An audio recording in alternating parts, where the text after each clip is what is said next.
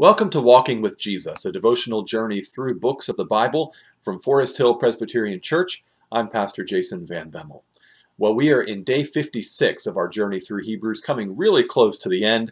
In Hebrews chapter 13, looking at verses 18 and 19 today, and asking this question Do our prayers really make a difference? Do our prayers really make a difference? Here's Hebrews 13, 18 and 19. Pray for us for we are sure that we have a clear conscience, desiring to act honorably in all things. I urge you the more earnestly to do this, in order that I may be restored to you the sooner. Again, that's Hebrews 13, 18, and 19 in the English Standard Version. You ever wonder why we need to pray?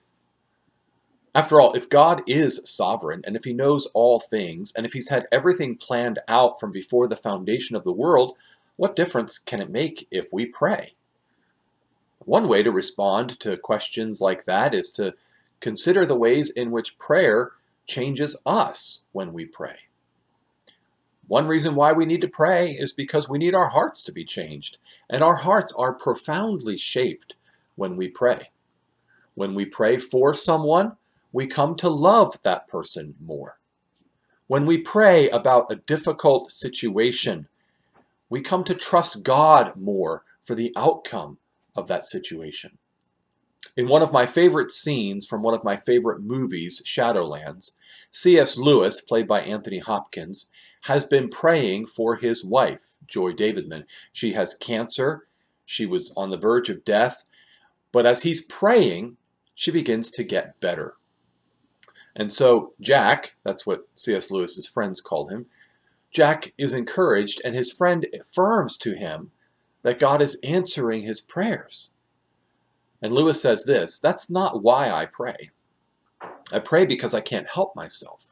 I pray because I'm helpless. I pray because the need flows out of me all the time, waking and sleeping. It doesn't change God, it changes me.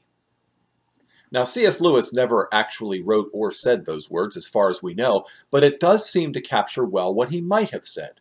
It's a great thought, really. Of course my prayers don't change God. How horrible that would be. Imagine if I, by my words or thoughts, could change God. How would God change? Would I be telling him information he doesn't already know? Could I convince him to change his mind and give in to my superior wisdom? Not. So if prayer doesn't change God, does that mean that the only thing prayer changes is us? Is prayer entirely a matter of growing in love, humility, and trust? No. At least not if we're going to take verses 18 and 19 of Hebrews 13 seriously.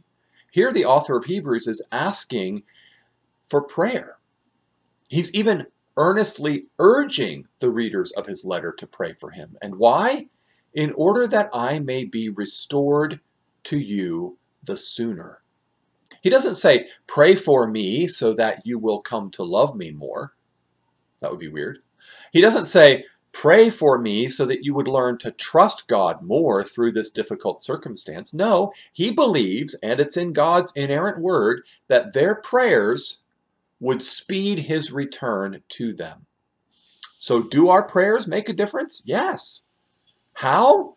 Well, we can't say exactly and fully, can we? We know that our prayers don't change God, but it does seem that our prayers can affect the timing of God's work and can shape other things in important ways. We pray for someone's salvation because we believe God alone can save, and we believe God will answer our prayer and save them.